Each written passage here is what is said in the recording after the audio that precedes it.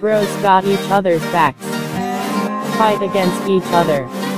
Want to struggle one another to death. Want each other alive. Bros have other bros by their side. They are strong, smart and fast independents. They are fearless. They are the ladies' shiny knight's armor. They are the protectors of the females. Sometimes the ash pulls towards females. Other bros fight against them with help. Bros are bros. Bros can be mean to each other.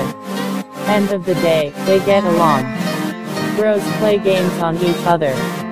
They make each other better if one of them is having a ratchet day. They build a strong bro relationship between each other. Sometimes not. Bros can be mean to each other. End of the day, they get along. Bros play games on each other. They make each other better if one of them is having a ratchet day. They build a strong bro relationship between each other. Sometimes not. I am a bro. Like all the female students that know me at my high school. My dude friends even said it. If you don't have the permission to call me bro, then don't even do it.